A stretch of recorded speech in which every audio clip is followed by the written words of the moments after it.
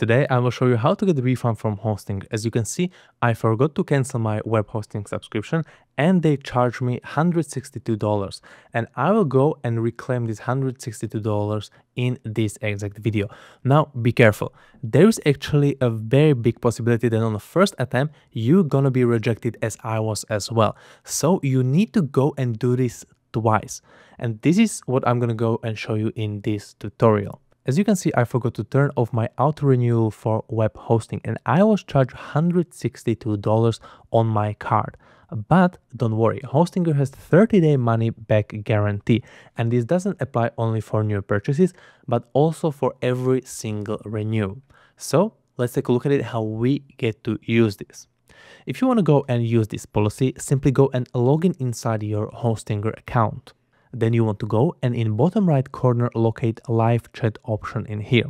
You will be presented chat with bot. In here you want to go and write quick message. You want to go and mention that you want to cancel it and you also want to make sure that you mention the 30 day money back guarantee. Mentioning those two stuff will make sure that they will not try to go and upsell you or convince you to use it, but they will go and directly connect you to the refund page.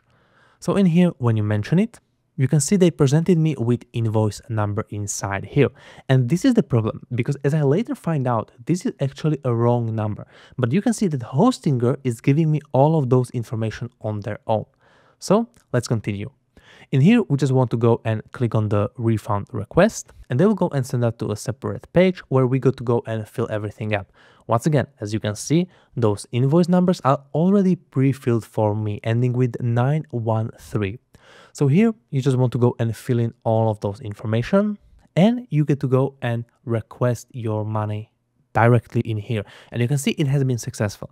Now you would think that this is it, right? You will get your money back. But from my experience, it doesn't end here because what actually happened to me, I got this very specific email basically saying that the business web hosting renewal under this invoice number ending with 913, which remember is the one that Hostinger themselves automatically provided to me was actually rejected because the payment is allocated to a different invoice, which I haven't seen before.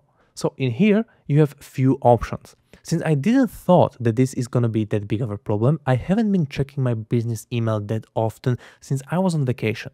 But when I came back, I actually saw that this was rejected. I immediately replied to this email, but since it was a few days later, maybe they already closed my case and never came back to me. So what I did then? Well, I went back to Hostinger, I logged in and located in bottom right corner the same live chat in here. And then I created a new message, once again, mentioning that I want to cancel and I want to get the 30 days money back guarantee and I also provided them with the new invoice number that Hostinger shared with me via email. Now this information they once again took and sent me very similar message sending me to a refund request page where once again it was pre-filled for me with all the invoice numbers.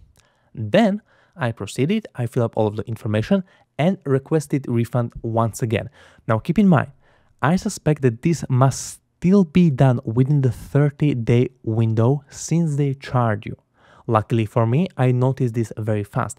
But if you have noticed this later and you don't have that many days, definitely keep checking your email if they reject it. And if yes, well, then you just need to go and request another refund. And from my experience, the second refund has actually worked. And now I can see that I did receive the money on my actual account. So you can see that they did send me and they did honor the 30 day money back guarantee. I hope this video gonna help you. Definitely leave some comments down in the description to go and showcase to people that this is actually valuable so they will not miss out on their money as well. And if you want to go sometimes and buy again from Hostinger, you can go and use my links in the description that will go and support this channel in making videos like this freely available online. Thank you for your attention, have a nice day, and goodbye.